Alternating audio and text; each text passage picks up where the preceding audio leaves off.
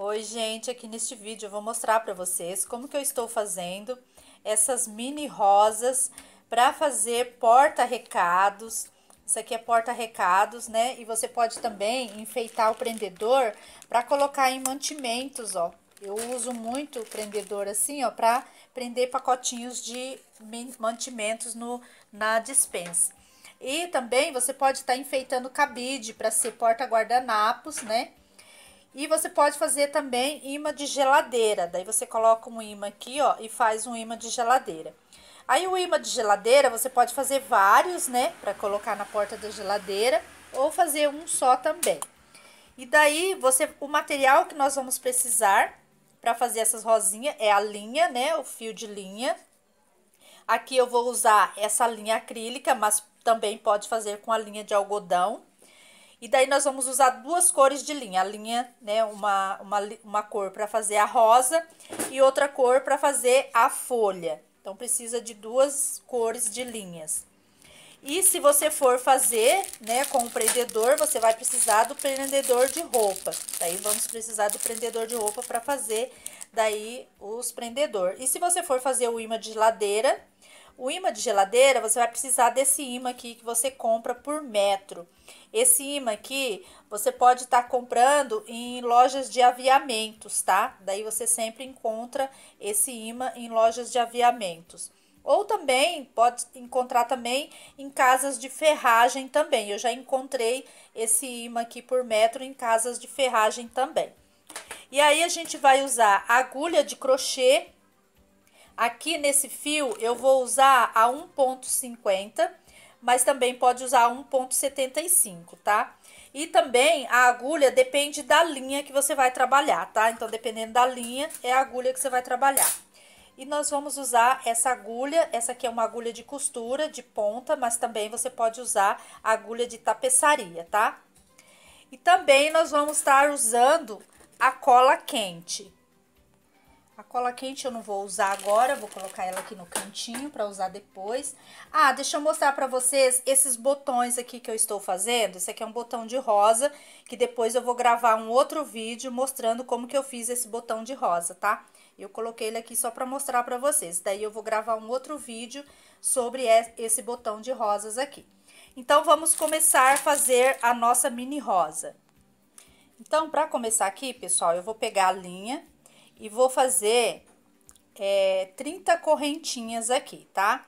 Aqui eu vou fazer bem rápido o crochê, mas eu vou estar tá gravando um outro vídeo mostrando para vocês como fazer os pontos de crochê. Aí vai ter lá na playlist iniciantes, né? Playlist iniciante em crochê, que aí eu vou estar tá mostrando com mais detalhe todos os pontos de crochê. Aqui eu vou fazer os pontos bem rápido, só para mostrar para vocês. Então, aqui eu vou fazer 30 correntinhas e já volto mostrar para vocês como que vai ficar. Então, aqui já fiz 30 correntinhas, tá? Agora que eu fiz as 30 correntinhas, eu vou pegar meu fio aqui, ó, eu vou dar uma laçada no meu fio, vou contar cinco correntinhas a contar da agulha aqui. Então, eu conto, ó, uma, duas, três, quatro, cinco. Vou entrar na quinta corrente e vou fazer um ponto alto aqui, ó. Aí, eu faço um ponto alto. Então, eu estou com uma correntinha e um ponto alto. Daí, eu vou fazer mais é, três pontos altos para ficar, mais quatro pontos altos, aliás, para ficar com seis pontos altos aqui, tá? Então, eu fiz aqui, ó, uma correntinha e um, dois, três, deixa eu puxar a linha aqui, três, quatro, desculpa aí, pessoal, eu bati aqui no celular, tô com o celular na frente e bati a mão. Seis, então, vamos contar aqui, ficou a correntinha, então, uma, duas, três, quatro, cinco, seis. Então, fiz uma correntinha e mais cinco pontos altos. Agora, eu vou, na próxima correntinha aqui, ó, eu vou colocar um ponto baixo aqui, ó. Daí, coloco um ponto baixo na próxima correntinha. Dou a laçada e vou para a próxima correntinha. Na próxima correntinha, eu vou fazer novamente seis pontos altos. Então, daí aqui eu fiz um, deixa eu puxar aqui o fio, dois, opa, saiu a agulha, dois, três, quatro, opa, saiu a agulha, quatro, cinco, seis. Então, eu fiz aqui seis pontos altos na correntinha. Aí, na próxima correntinha, eu faço um ponto baixo. Novamente, eu dou a laçada. Na próxima correntinha, eu começo novamente fazendo seis, é, seis pontos altos em cada correntinha aqui, tá? Daí, eu vou formar as pétalas. Ele vai enrolando assim mesmo, tá, pessoal? Aí, eu deixei um pronto aqui, ó, pra já mostrar pra vocês. Aí, ele vai ficar assim, ó. Aí, você vai fazer aqui, ó, uma, duas, três, quatro, cinco, seis, sete pétalas. Então, você faz 30 correntinhas e daí vai fazer as sete pétalas. Aí, eu vou fazer aqui as sete pétalas e já volto mostrar para vocês o, o procedimento seguinte. Então, agora aqui, pessoal, cheguei na última pétala, vou fazer aqui o ponto baixo. Eu acho que eu esqueci de falar na, na, lista de material que tem que ter uma tesoura. Eu acabei esquecendo de falar da tesoura. Eu vou deixar um tanto assim, ó, de fio, que eu vou usar para costurar as pétalas, tá? Então, daí agora eu puxo aqui, ó. Esse outro fio que ficou aqui, eu já uso ele para amarrar aqui os dois. E depois que você amarrou aqui as duas pontas aqui, né? Você deu os dois nozinhos aqui, amarrou as duas pontas. Essa ponta menor, você pode vir com a tesoura e cortar essa ponta menor. A ponta maior, você vai colocar na agulha de costura.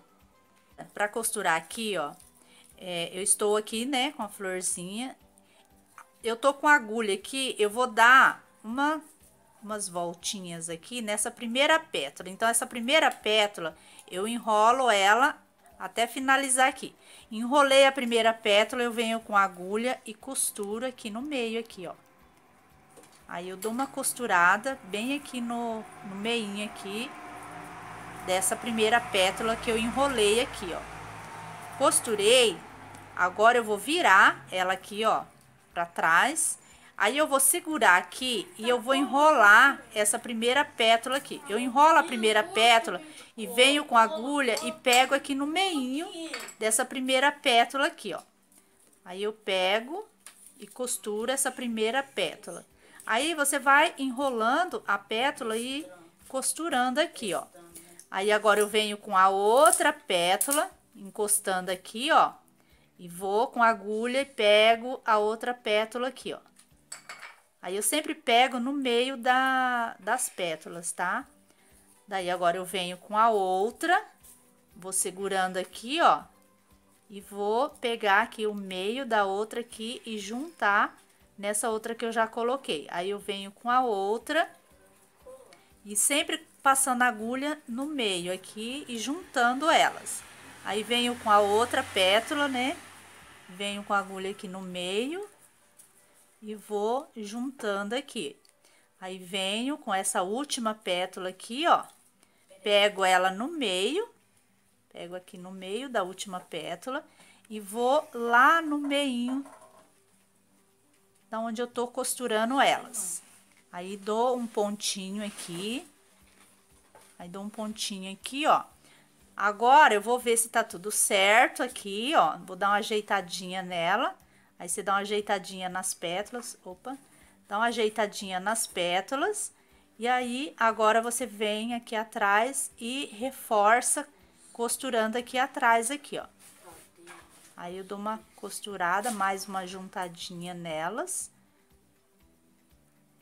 E vou fazer o arremate daí, no caso, aqui, ó. Deixa eu puxar esse fio aqui pra fazer o arremate, eu vou puxar aqui.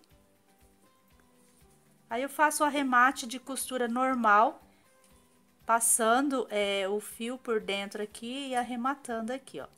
Aí passo a agulha aqui por dentro. Agora vou ter que tirar ela da agulha para arrematar aqui. E já tá pronta aqui a nossa é, rosinha, né, ó. Daí agora você vai ajeitando as pétalas aqui no, na frente aqui, ó. Aí fica o miolinho Fica o miolinho aqui e as pétalas aqui do lado, daí você vai ajeitando as pétalas. Então, aí a rosa já tá pronta, agora a gente vai fazer a folha. Para fazer a folhinha, aí a gente vai fazer a folha agora, tá? A folhinha, ela fica assim, ó. Porque daí a gente vai, depois, vai costurar ela aqui, ó. Então, nós vamos costurar a folhinha uma de um lado e a outra do outro lado aqui, ó. Então, daí agora vamos fazer a para fazer a folhinha aqui, pessoal, eu vou fazer um anel mágico aqui, ó. Vou passar o fio aqui no meu dedo. Aí no canal já tem um vídeo gravado como fazer esse anel mágico, tá? Mas eu vou tá dando, vou dar uma pincelada aqui como fazer esse anel mágico. Então aqui, ó, eu vou fazer duas correntinhas. Fiz o anel mágico, fiz duas correntinhas, vou dar laçada e venho aqui dentro do anel mágico e vou levantar três pontos altos aqui dentro, tá? Então, daí agora eu faço aqui três pontos altos. Então, daí eu passo aqui a agulha, né? Faço, fazendo um ponto alto, vou pro segundo ponto alto. Então, aí eu tô no segundo ponto alto. Aí, faz aqui dois. E o terceiro ponto alto. Então, fiz aqui o terceiro ponto alto. Agora, eu faço três correntinhas. Uma, duas, três. Fiz três correntinhas, volto aqui no pezinho e fecho com ponto baixo, fazendo um ponto picô. Aí, fiz o ponto picô, vou dar a laçada, venho aqui no anel mágico novamente e vou levantar três pontos altos. Então, eu levantei aqui um, dois, dois e três. Fiz três pontos altos. Agora, eu faço um ponto baixo aqui, ó. Faço um ponto baixo. Aí, segura aqui, venho, deixo um fio aqui pra rematar. Daí, eu venho aqui, ó, corto esse fio aqui com a tesoura, corto ele aqui e vou puxar ele pra arrematar aqui o ponto. Puxei, arrematei o ponto. Agora, eu vou puxar o fio do anel mágico aqui, ó. Eu vou puxar aqui, ó. Vou puxar e juntar os dois aqui, ó. Então, daí eu vou juntar o fio do anel que eu fiz com o arremate aqui da folha. Vou fazer um nozinho aqui, ó. Aí, amarro bem firme aqui, bem no meio aqui, ó. Daí, você vai amarrar bem aqui no meio, ó. Aí, faço mais um nozinho aqui. Amarro bem aqui. E aí, eu vou pegar esse fio maior que ficou aqui, ó. Esse fio maior que ficou, eu vou colocar na agulha para costurar a folhinha na rosinha. Aí, eu coloquei aqui, ó, a linha na agulha, agora eu vou costurar. Aí, você vê, né, posiciona a, a folhinha onde você acha que vai ficar melhor. Aqui, eu acho que vai ficar melhor aqui, ó. Daí, eu venho aqui atrás, viro aqui atrás da rosinha, ó, e vou costurar. É, esse fio que ficou aqui, depois eu vou cortar ele. Então, eu vou costurar a folhinha aqui, ó. Então, com esse fio aqui, eu vou costurar a folhinha. Se você for colar diretamente é, no prendedor, você não precisa costurar. Você já vai com a cola e cola. Essa aqui eu vou costurar porque eu vendo também essas rosinhas no pacotinho. Aí, quando eu vou vender ela no pacotinho, eu vendo com a rosinha, a folhinha costurada na rosinha, tá? Então, essa aqui eu estou fazendo para vender com, no pacotinho. Daí, eu costuro e faço todo o acabamento aqui é, por trás e deixo a, rosi, a, flor, a, a folha costurada na rosinha para me vender ela no pacotinho, tá? Mas se você for colocar já no prendedor, aí você não precisa costurar aqui, tá? Aqui é só se você for vender ela é, com a folhinha no pacotinho, tá? Então, eu vou fazer essa aqui costurada para vender no pacotinho, mas você pode estar tá colando a folha diretamente no prendedor. Ah, pessoal, mais um detalhe. Essa linha acrílica, você precisa queimar as pontinhas aqui, tá? Essa aqui eu já queimei, daí as pontinhas aqui, porque senão ela desmancha. Então, tem que queimar essas pontinhas aqui. Agora aqui, pessoal, pra colar a florzinha aqui, ó, se eu for colar ela assim, costurada, eu simplesmente vou passar a cola aqui e colar aqui no prendedor. E sempre colar nessa parte aqui, ó, porque daí você vai abrir o prendedor com a flor aqui. Nunca colar aqui, tá? Aqui não dá pra colar ela, porque daí na hora que abrir aqui, ela pode soltar. Então, você tem que colar nessa parte aqui. Ou aqui, ou nessa outra parte aqui. Mas tem que ser nessa parte. Então, daí você vai passar a cola aqui e simplesmente colar ela aqui no prendedor. Como a gente vai colar no prendedor, também você não precisa ter o trabalho de costurar a folha aqui na florzinha. Você pode pegar o prendedor aqui, ó, do jeito que ele tá aqui. Aí você pode tá pegando a tesoura, cortando aqui, ó, essas pontas que fica aqui, ó. Pode cortar bem curtinho, porque você vai passar a cola, não precisa queimar, porque vai passar a cola, né? Aí você vem aqui, ó, nessa pontinha, nesse araminho aqui, eu vou colocar um pingo de cola aqui, ó, nesse araminho. E vou colocar essa minha folhinha aqui que eu cortei né, a, as linhas, vou colar aqui, ó. Colo essa folhinha aqui, aí eu vou virar ela aqui do outro lado. Passo a cola um tanto assim, mais ou menos aqui, ó. E vou colar a outra folhinha. Aí eu faço a mesma coisa, eu corto, né, a, o fio de linha aqui, ó. Corta a linha e vou colar ali no meu prendedor aqui, ó. Daí eu colo aqui onde eu coloquei a cola, né? Colei a folhinha. Agora, eu vou colocar a cola aqui no meio para colar a rosa aqui no meio aqui, ó. Então, daí eu coloco a cola, um, um total assim de cola razoável para colar a flor, né? A rosa. E vou colocar ela aqui no meio das folhinhas aqui, ó. Aí, coloco ela aqui no meio das folhinhas e está pronto o meu prendedor, né, com a mini rosinha para você colocar recado, para você enfeitar, né? Ou também você pode estar tá fazendo, como eu fiz essa aqui, colocar o imã de geladeira para você estar tá colocando na geladeira, né? E também você pode fazer para vender em pacotinhos. Aí você pode vender de meia dúzia, de uma dúzia ou de duas também. Você pode fazer pacotinho de duas, né? E aí você costura é, as folhinhas na rosa, daí você vende ela assim no pacotinho, tá? Ou também você pode vender ela sem costurar, né? Mas aí você tem que, se fizer com a linha acrílica, tem que selar as pontinhas para não desmanchar, tá? E po pode também fazer em linha de algodão.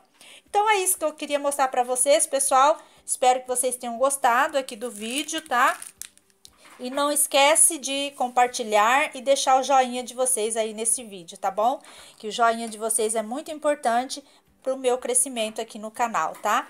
E compartilha aí para outras pessoas né, ficar conhecendo aqui o canal e ficar conhecendo o meu trabalho, tá bom, gente? Um super beijo, até o próximo vídeo. Deus abençoe.